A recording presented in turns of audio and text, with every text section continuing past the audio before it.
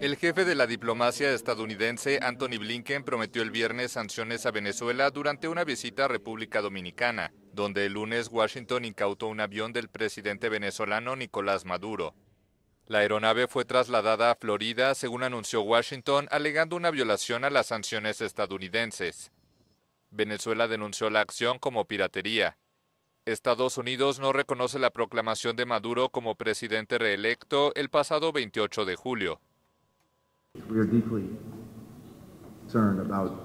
Nos preocupa mucho la trayectoria en Venezuela a la luz de las elecciones en las que la voluntad del pueblo venezolano no pudo ser más clara, pero desafortunadamente esa voluntad y sus votos no se vieron reflejados.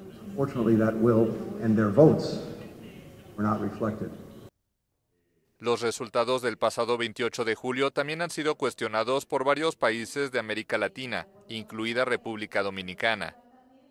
Sobre el tema de Venezuela conversamos también nuestra preocupación y seguiremos trabajando con la comunidad internacional y los demás países para defender la, democracia y lo que es el deseo del pueblo venezolano. Maduro fue proclamado ganador con el 52% de los votos, sin que se diera a conocer el detalle del escrutinio como obliga la ley. La oposición denunció fraude y dijo tener pruebas de la victoria de su candidato Edmundo González Urrutia. Protestas estallaron en todo el país, dejando un saldo de 27 muertos y 2.400 heridos.